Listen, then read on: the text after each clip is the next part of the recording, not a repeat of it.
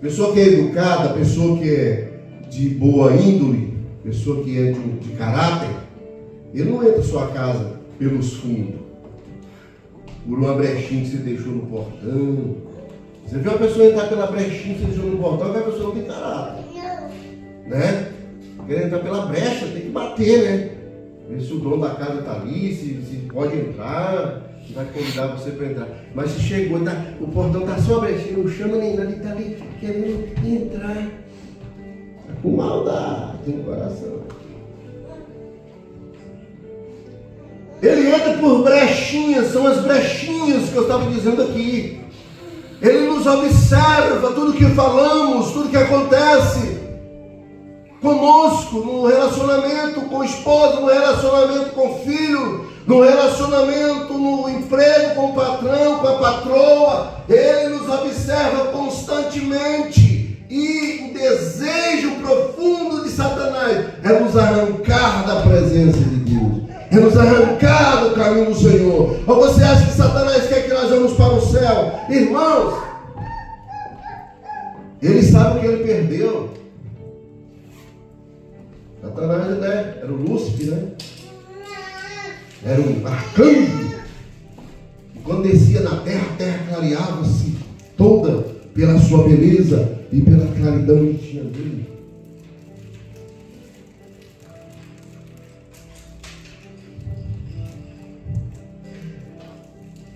Quando ele descia na terra, tudo clareava. Ele era um arcanjo de guerra, ele era um príncipe, ele comandava o exército celestial, estava sob o seu domínio.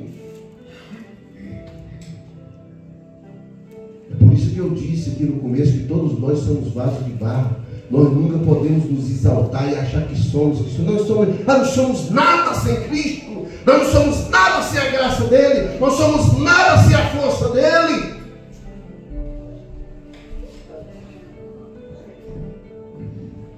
E aí quando ele descia na terra que clareava, né, aquela coisa bela, a Bíblia diz que ele era muito belo. Só que aquela soberba entrou no seu coração de uma forma tão grande. Olha, você vê um, um, um, arcanjo que foi criado pelo Deus Todo-Poderoso, criado para os serviços de Deus. Você vai falar, ô pastor, o que tem a ver que, que tem a ver esse Lúcifer, esse, esse, esse, esse, esse antigo arcanjo aí com nós? Você está entendendo a palavra, porque Deus dá para nós posições, Deus dá para nós, como eu disse, somos vasos de barro e coloca dentro de nós tesouros. E aí esses tesouros estão dentro de nós, a gente acha que a gente é um tal, é verdade? Isso que eu estou ministrando, primeiro é para mim, tá?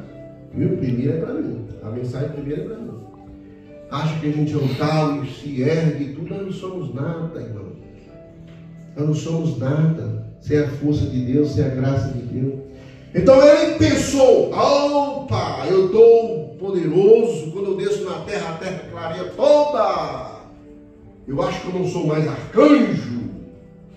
Eu acho que eu não sou mais um, um general de, de guerra que domina um exército celestial. Eu acho que já sou é Deus.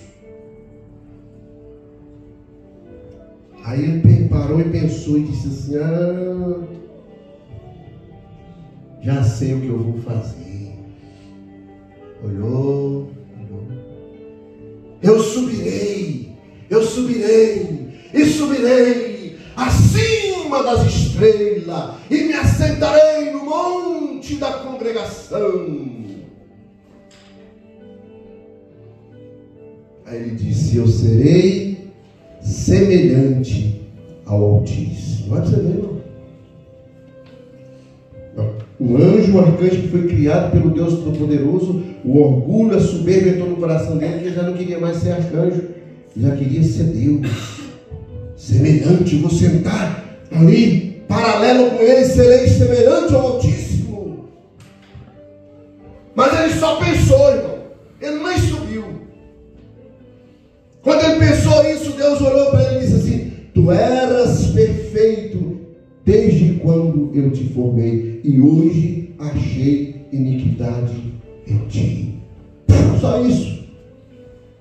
A Deus já tirou dele a clareza, Deus já tirou dele o brilho, Deus já tirou dele o resplendor. Não tem mais o resplendor que brilhava. Não, não a claridade quando descia na terra clareava. Deus tirou, por isso ele chama príncipe das trevas. Meu Deus. Irmão, eu tenho hora que sou pego até de surpresa, sabia? Eu preparo a mensagem e Deus vai mandando falar outra coisa.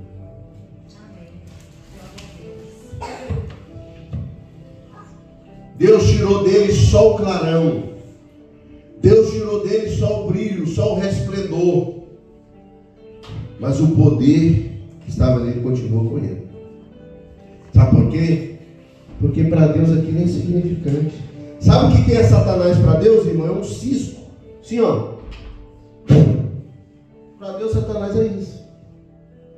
Por isso que Deus disse sim que Satanás é adversário nosso.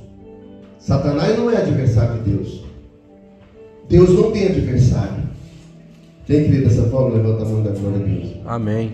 Deus não tem adversário. Satanás é adversário meu e seu. Ele é inimigo meu e seu. Você acha que ele olha e vê nós tendo um bom relacionamento com a esposa e com o esposo? Você acha que ele fica feliz com isso? Ele não fica feliz com isso. Ele luta constantemente para acabar com a alegria nossa. Você acha que quando ele olha e vê um pai feliz com os filhos, os filhos felizes com o pai, uma comunhão